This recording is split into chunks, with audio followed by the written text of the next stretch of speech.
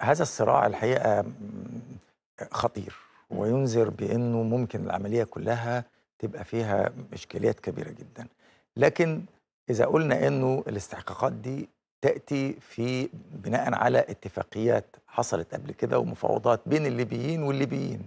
بدون ضغط من أي جهة بدون تدخل من أي جهة وأنا الحقيقة بتابع بلاقي أنه فيه آه، كل معسكر بيرفض المرشحين من المعسكر الآخر م.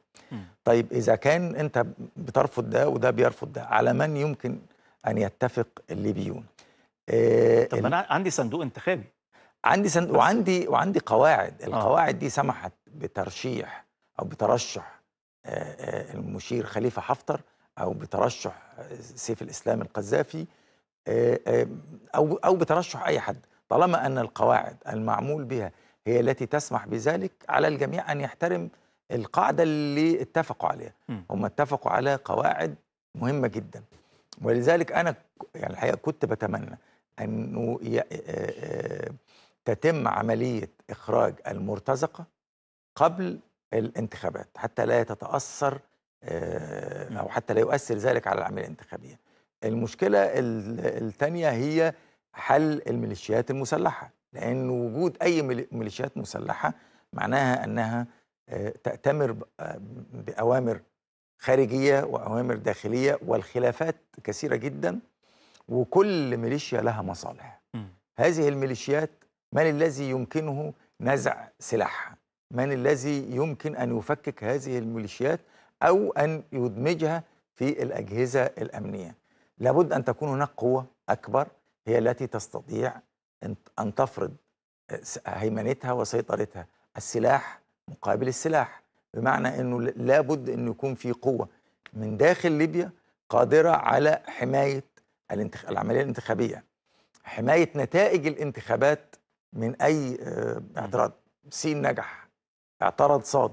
من الذي يفرض سين على الجميع لأنه جاء بإرادة شعبية. هنا ال- ال- الجيش الوطني الليبي قادر هو ده على اللي بنتكلم قادر. على احتواء المشهد. إن أنت لابد إن يكون عندك قوة. مؤمن بأنها قوة وطنية. قادرة على حفظ الأمن وبسطه داخل المجتمع. الليبي. إذا لم تكن هذه القوة محل اتفاق بين ال- الشعب الليبي أنا دعنا من الفرقاء السياسيين. الفرقاء السياسيين للأسف جزء كبير جدا منهم بيأتمر بأوامر خارجية جزء كبير جدا منهم مرتبط بدول آه، خارجية. شفنا ال- يعني المشري أول أول شيء اعترض على قانون الانتخاب. وعلى حتى تشكيل لجنة الانتخابات أول خطوة يخطيها ذهب إلى تركيا بالتالي كل واحد بيستنجد أو بيبحث عن من نعم. يدعمه. دي حالة تنذر بخطر آه، كبير جدا آه آه، إذا كنا بنتكلم عن مؤتمر مهم زي مؤتمر باريس آه، وحضرته أطراف مهمة جدا وفي مقدمتها مصر الداعمة لاستقرار ليبيا مصر لا يعنيها من آه، آه، ينجح أو من آه، لا ينجح يعنيها أنه ليبيا تستقر وأن يجتمع الليبيون على شخص يختاروه لإدارة الأمور المرحلة القادمة دي تعتبر مرحلة انتقالية ما هياش مرحلة استقرار وبالتالي اللي هيجي هتبقى عليه أعباء ضخمة جدا.